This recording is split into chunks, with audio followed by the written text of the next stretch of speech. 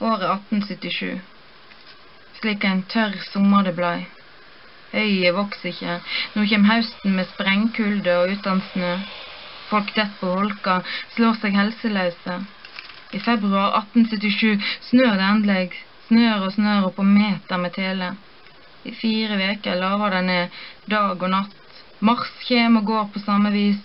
1. april har vi nesten en meter.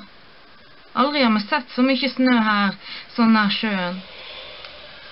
Så blir det ikke vår, så blir det ikke såing, ikke før i slutten av mai.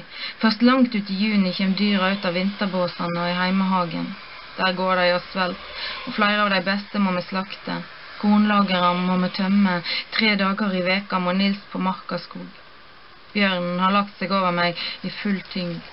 Føttene mine ligger her bare, og hendene mine. Alt visner, blir tynt og skjørt som det siste høstlauvet.